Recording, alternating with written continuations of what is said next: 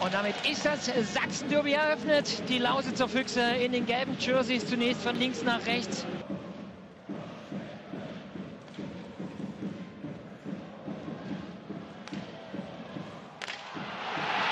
So, da haben wir den ersten Treffer in diesem Sachsen-Derby und du hast es angesprochen, David Zuwandel in der Halbposition und der nutzt dann diese Einschussmöglichkeit und Koda Lausitzer Füchse. Wir sehen es hier gut gespielt, tief neben das Tor von hinter der Grundlinie dann der Pass und da hat niemand am zweiten Pfosten David Zuwanto auf dem Zettel. Der kommt da gut runter, macht die Bewegung und dann ja, aus dem Bulli-Kreis.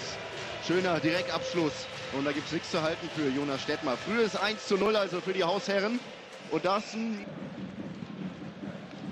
Dresden über Leblanc. Ah, der verzögert geschickt. Stettmar hat Probleme. Und da war es der Dresdner Kapitän Therese Turnbull, der verpasst. Fangen drauf, beruhigt so das Spiel. Hier nochmal die Chance dafür Travis Turnbull. Ah, Mekitalo gewinnt das Anspiel. Söder Gosic. Breitkreuz.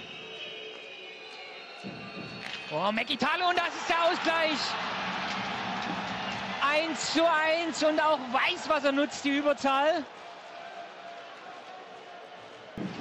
Es ist Jerry Baudry, der da runterkommt von der blauen Linie aus dem Bulli-Kreis mit der Direktabnahme. Halb hoch, Stockhandseite, nicht zu halten für aus den Birken. Und ja, Suvanto versucht den Pass. Zu schnell weitergespielt. Jetzt die Chance für Dresden. Andres verzieht. Aus aussichtsreicher Position nochmal der Abschluss.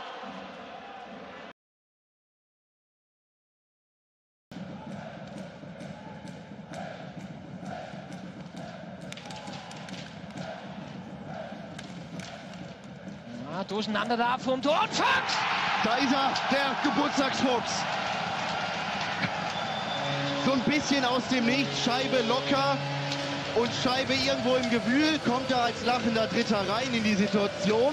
Hier irgendwo im Wirrwarr ist die Scheibe und die fällt dann Dane Fox genau auf die Kelle, nimmt den Verteidiger noch als Screen und der passt dann genau oben in den Knick über die Stockhand von Stettmar und Dresden wieder vorne.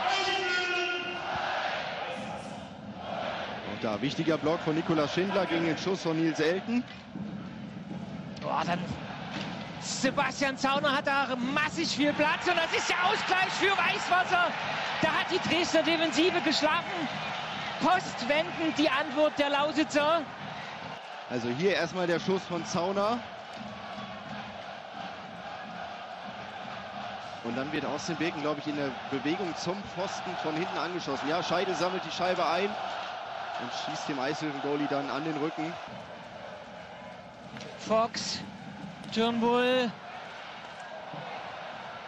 Und ein Tor! Du LeBlanc! Vermeintlich mit der Vorentscheidung. 35,1 Sekunden. Und äh, auch das war ein Broken Play. Versteckt oben über der Schulter. Erst ist es Turnbull, der schießt am Tor vorbei. Ja, und dann schaltet LeBlanc einfach schneller. Und Ja, dann- oben dann- ist Platz. Dann denkst du eigentlich, die Situation ist schon bereinigt. Aber die Rechnung machst du dann ohne True LeBlanc. Vier Sekunden. Dane Fox nochmal. Und das ist der Sieg im Sachsen-Derby für die Dresdner Eislöwen.